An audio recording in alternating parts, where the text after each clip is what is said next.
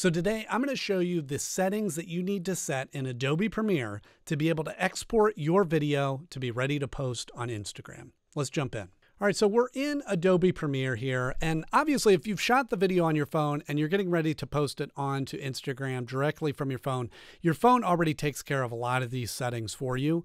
But if you brought the footage into Adobe Premiere, you did some editing, added some text, whatever the case is, and now you want to export it, I'm going to show you the settings that you can use and a couple of different ways to get there depending on what you're working on. Let's take a look at a video that's already in the vertical format. This is a video that I want to post as a reel so we can select that video, and this could be an existing timeline. This could be a just the file that you have, whatever the case is. And we're just going to take that, we're going to drag that down to the new sequence setting down here. And you can see what it does is it already matches to this vertical format. Okay. Now, this is great for reels or stories or things like that and to get that in there. And basically, what it does is it creates the sequence based on the information that it's getting from that video. So this video is already formatted in the correct ways, so we're ready to go. Something else I'm going to show you here while we're in this section is I just want to go up to the workspace option. This is something they added not that long ago, and you now have a vertical workspace which you can click on that and it just reorganizes your panels to be specific to working on a vertical format. And I, I like using this because it kind of gives you fuller frame visual of this rather than have it too wide. Obviously, this is all adjustable. This is pretty close. There's a few things we're going to dial in just a little bit closer. So you right click on this sequence there. You go to sequence settings. And first thing we're going to go up here and, and make sure we're on custom because we're going to be changing some of these things. Although they do have some presets in there depending on how the footage is coming in. But for this, we're going to change this to 30 frames per second. So it has the frame size set based on the video that I'm importing as 1080 by 1920. And if you want to keep it in this vertical format, I would recommend going 1080 by 1350, okay, which just creates that four by five aspect ratio in there. And then we're going to leave everything else sort of the way that it is and click OK. And it's going to tell you that it's going to change the preview files that's already been rendered for that video, which is what we want. So you click OK and you can see it changed this frame size.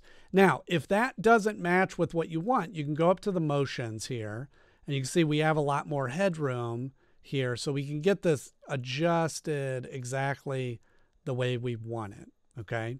Now, the other method to adjust the settings is before you import the video. So maybe the video is is a wide format and you you know you want to do it in a square format. So what we're going to do is we're just going to go down to the new item.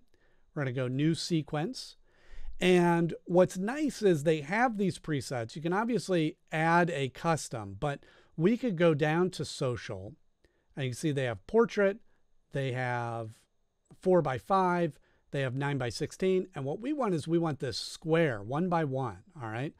And you can change the name of this. Let's change it to square post. Okay. Click OK. And now we have that. And you can see this is the square format. And then what I'm going to do is I'm going to bring in this video and bring it down in here, which was in a, a widescreen format. I'm going to bring that in there. And you have two options. It's going to ask you to convert it to the settings of the video or keep the current settings that we just set. We want to keep the existing settings. Okay. So let me just chop this down just make it. Okay. Once again, we can go in here and we just click on this go to motion and we can move this around however we want. Maybe I want to zoom it in a little bit more. And you can fill that frame however you desire. And again, we're doing this really quick. So you can see some of my captions are sort of cut off there. Okay, and then you adjust it how you want, and now you've got the video formatted for the square format. When you are exporting the video, you just click up here to export, want to make sure that our format is selecting H.264 and then you want to go to presets and you want to select custom and of course you can set the name, your destination, where you want this file to save. Make a couple of more tweaks. We're going to go to video and we want to change. So we got the frame size, we got the, so we want to make sure that's on 30, but we already set this in the sequence. But you have the option to change this now if you would like as well. Okay, once you have all those set, you can either export it directly in Premiere or send it to your Adobe encoder if you have multiple videos that you're trying to render. We're just going to export this this way. It'll save the file, and once it finishes rendering, then you have a video that you are confident that all the settings are optimized for Instagram. I hope this video helped you out, and I'll see you in the next one.